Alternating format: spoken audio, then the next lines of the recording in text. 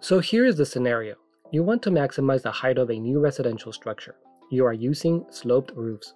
Per the International Building Code, Table 504.3, you are allowed a maximum of 40 feet in height.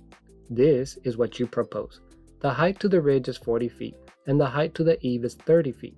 Is this the most height you can get per the IBC? If you would like to think about it, pause the video. If not, here's the answer. Per the 2021 IBC Chapter 2's definition of height building, the answer is no, you have not maximized it. You can have a taller building since sloped roofs are measured to the average height of the highest roof. If you wanted to maximize the roof, you could get an extra 5 feet as shown here, where the average is 40 feet in height.